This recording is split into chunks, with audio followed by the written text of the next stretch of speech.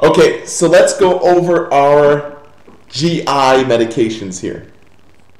Whenever we want to prevent a peptic ulcer or with someone who has a history of gastritis or just a heartburn issue, an overproduction of acid issue, we will issue one of three medications to bring down that acid production. Now, just like any other medication we give, just like your insulins, just like your pain medication, we always use um, the rules of three. So we always have a mild, moderate, and um, severe type of uh, therapeutic approach. And we always come at different angles. If you haven't noticed that already in terms of um, pharmacology. So just like if your blood pressure is too high, you can give a diuretic to decrease the volume. You can work on the actual heart itself. Um, you can give a blocker to block that beta. You can give a calcium channel blocker to soften up that heart. There's a bunch of angles we can take in controlling uh, at least blood pressure in and of itself. So just like that, we're taking the same approach to your GI as well. So let's talk about it here.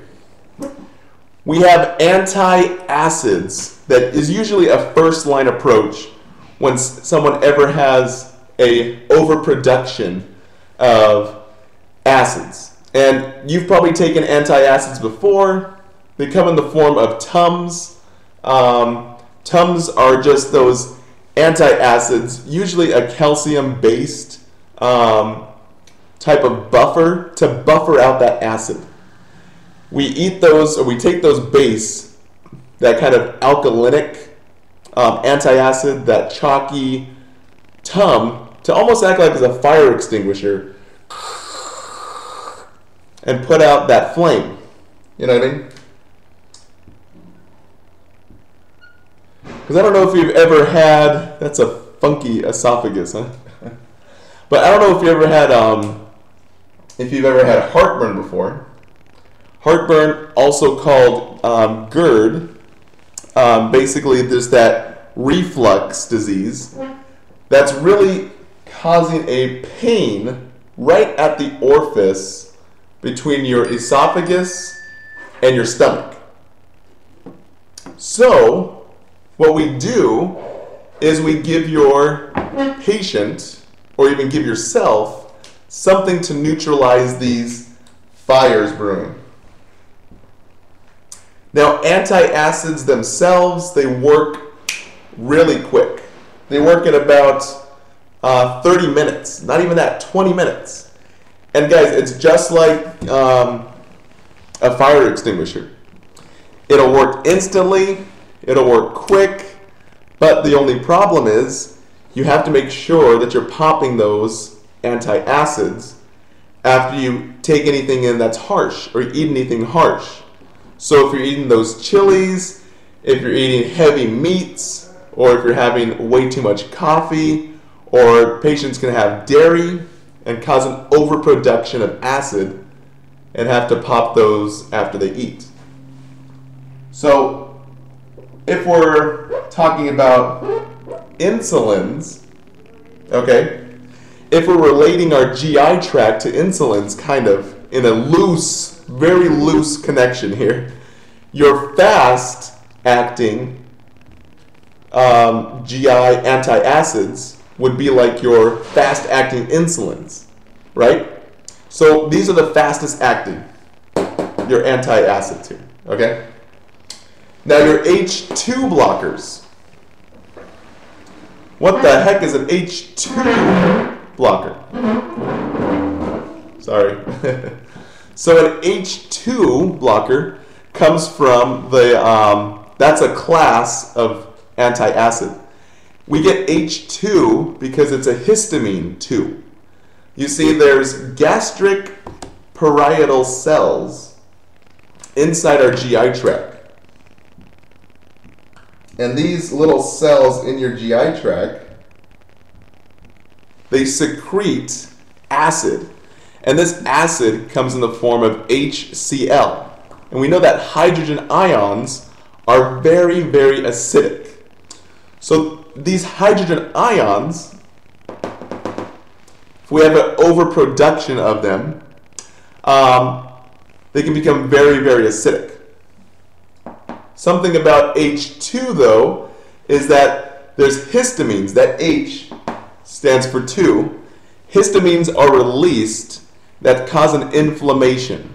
And that inflammation can cause irritation and breakdown and lead to a peptic ulcer is what we call it. Peptic ulcer is just a fancy, fancy term for a hole in the lining of your stomach. Peptic stomach, okay? So if there's a hole in the lining of your stomach, that is not good. It's called a perforation of the stomach.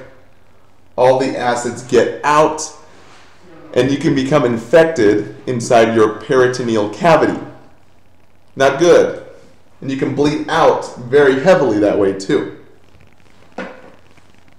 So, to prevent these peptic ulcers from happening, and to protect the lining of the um, stomach itself and the GI tract itself, we'll prescribe, the doctors will prescribe something called H2 blockers. Those histamine blockers to bring down that inflammation and protect the lining of the actual stomach itself.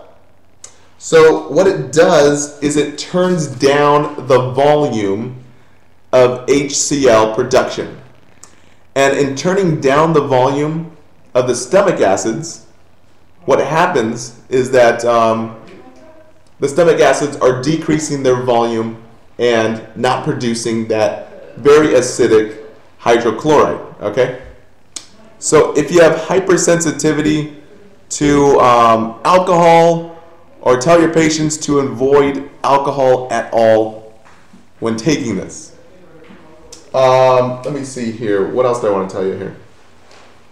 One thing I wanted to say is that H2 blockers, the way that helps me remember it, is I remember H2